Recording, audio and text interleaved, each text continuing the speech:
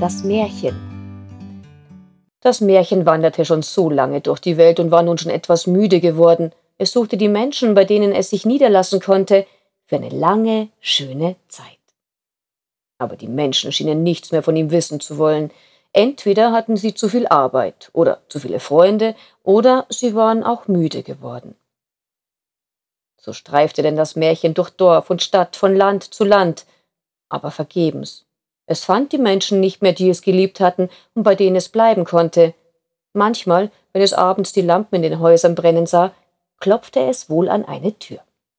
Die Menschen öffneten ihm auch, aber dann sahen sie es sehr verwundert an, weil es so fremdartig aussah. Und wenn es fragte, kann ich nicht bei euch bleiben, ich bin das Märchen.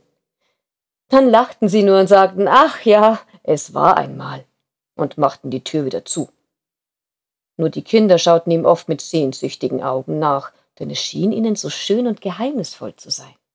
So wanderte das Märchen hinaus aus den großen Städten und kam in einen tiefen Wald. Viele Tiere begegneten ihm.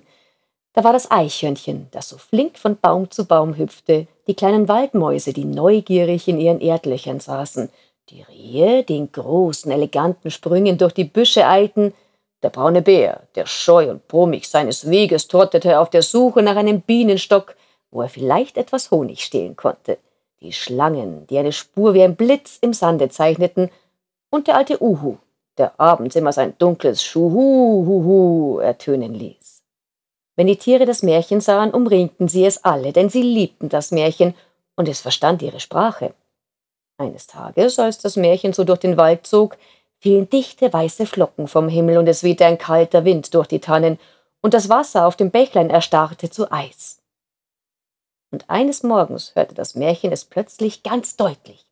Es klingelte durch den Wald wie Schellengeläut, es kam näher und näher, und dann sah das Märchen ein zierliches Pferd mit einer bunten Schabracke, das einen Schlitten zog, und darin saß der Weihnachtsmann mit einem runden roten Gesicht und einem langen weißen Bart in einem roten Mantel.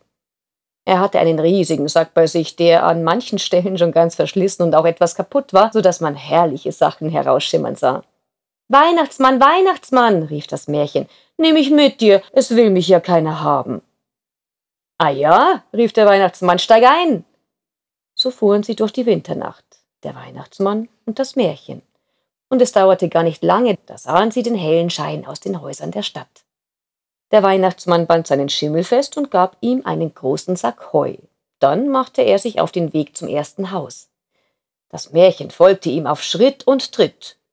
Als sie so nahe herangekommen waren, dass sie durch das Fenster sehen konnten, da sahen sie einen großen Weihnachtsbaum, an dem viele Kerzen brannten, und um den Baum herum standen viele frohe Menschen, Kinder und Eltern und ganz Alte.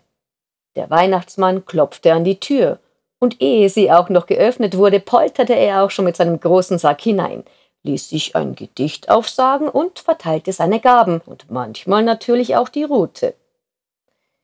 Das Märchen aber war leise ins Zimmer getreten. Es lachte glücklich vor sich hin, denn hier schickte es niemand wieder weg.